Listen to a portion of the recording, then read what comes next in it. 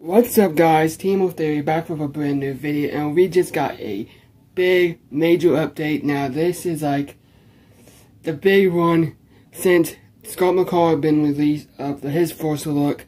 Now he's kind of got that thorough Superman Lois vibe.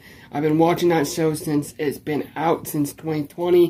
He's been doing a fan, he's been doing a big, big, good job in it. Like I don't know, I don't even know what to say because I'm speechless right now. This is actually a first look. We haven't seen nothing of Tyler Hoechlin, aka Derek Hale. No news about him. Just we, we just knew that he was in the movie. Nothing.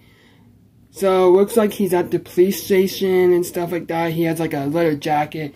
Kind of reminds me of like one of his old ones where he used to wear. So we have no we know that he has changed. Looks like we are going with season one type of vibe, Derek Hale, because last time we've seen Derek Hale, he had a beard.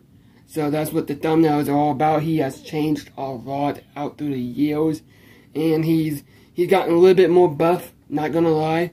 Um um so I just hope they don't make Superman, okay, Derek Hale, a joke in the movie. Just saying guys.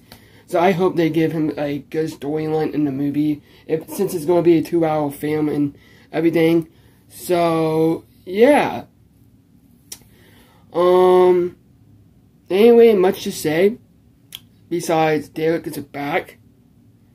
Um, I know this is pretty short, but there ain't not much to say. I'm Teen Wolf Day. Whenever you guys are watching this day or night, leave a like. Peace.